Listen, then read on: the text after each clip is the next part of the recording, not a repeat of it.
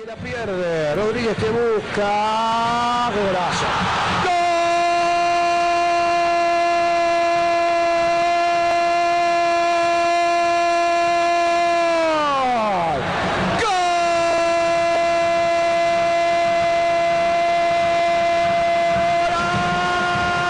¡Golazo Banfield!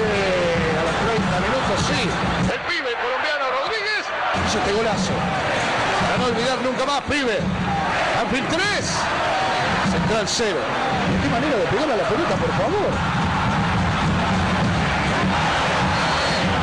James Rodríguez, un puñado de partidos en primera, el récord de ser el extranjero más joven de debutar en el fútbol argentino y este golazo, la pierde Choi, le queda a Rodríguez, no duda y sin marca saca este zurdazo, inatajable. Qué golazo.